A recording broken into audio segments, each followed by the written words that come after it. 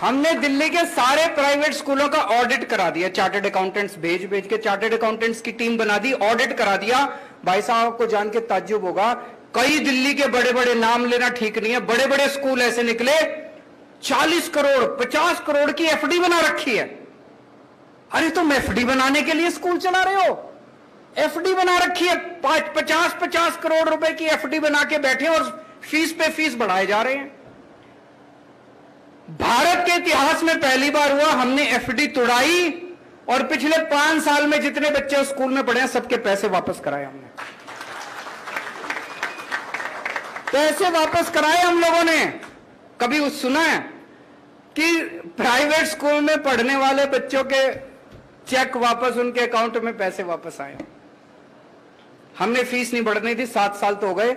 अभी पंजाब के अंदर मान साहब ने सरकार संभाली है।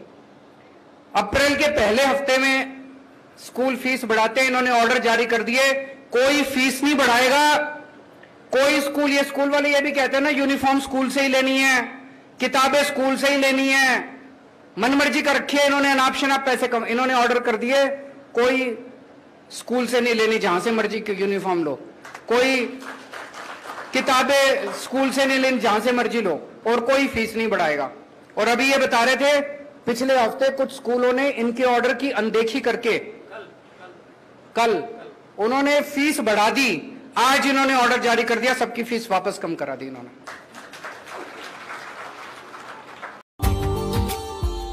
Subscribe now and press the bell icon never miss an update